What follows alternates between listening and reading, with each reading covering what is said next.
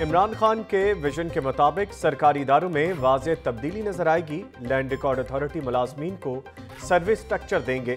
Contract ملازمین کو مستقل بنیادوں پر تعینات کیا جائے گا۔ صوبائی وزیر مال ملک محمد انور کی اراضی ریکارڈ سینٹر کینٹ کے دورے پر میڈیا سے گفتگو۔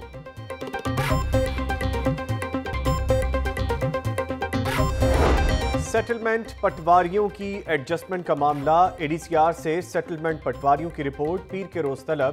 ایس ایم بی آر کی اے ڈی سی آر کو ریکارڈ فراہم کرنے کی ہدایت۔ شیرہ کوٹ پولیس کی کارروائی نشہ آور چیزیں کھلا کر لوٹنے والی خاتون گرفتار، ملزمہ سے آٹھ تولے سونا اور چالیس ہزار روپے نقدی برآمد۔ اسپیشل پروٹیکشن یونٹ کے ہیڈ کوارٹرز کی تعمیر کا معاملہ، پنجاب حکومت نے ساڑھے سات کروڑ روپے کی ٹوکن رقم جاری کر دی۔ ہیڈ کوارٹر چوالیس کروڑ کی لاگت سے رائیون روڈ پر بنایا جائے گا۔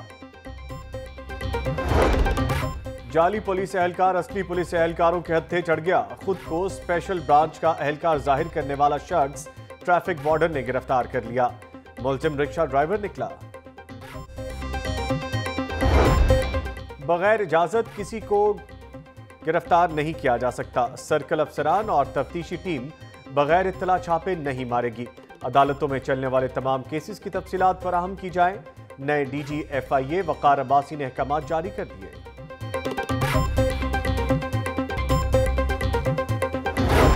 چیئرمین پی این ڈی کی زیر صدارت اجلاس لاہور میں جوڈیشل اکیڈمی کی تعمیر کے لیے مزید فنڈز جاری کر دیے گئے۔ منصوبے کے لیے پانچ کروڑ چالیس لاکھ روپے کے فنڈز جاری کیے گئے۔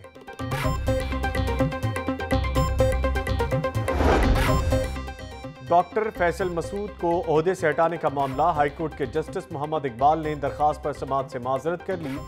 جسٹس محمد اقبال نے درخواست چیف جسٹس کو ارسال کر دی۔ اسکول میں طلبہ کی داخلہ مہم کا معاملہ۔ داخلوں کا ٹارگٹ پورا نہ ہونے کا خدشہ۔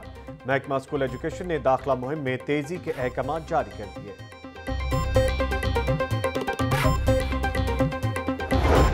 پاکستان ہاکی فیڈریشن مالی مشکلات کا شکار، قومی ہاکی ٹیم کے ایشین چیمپئنز ٹرافی میں شرکت پر سوالیہ نشان لگ گیا۔ غیر ملکی کوچز نے بھی کیمپ میں شرکت کی اپنی تنخواہ کی ادائیگی سے مشروط کر دیا۔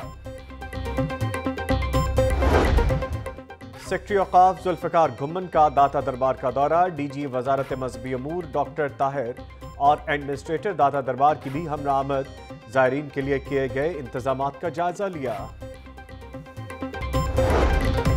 اور کام سیٹس یونیورسٹی اور ایورسٹ انٹرنیشنل کے تحت پاک چائنا بزنس فورم ایکسپو کا آغاز، تین سو سے زائد چائنیز کمپنیز کے سٹال سچ گئے۔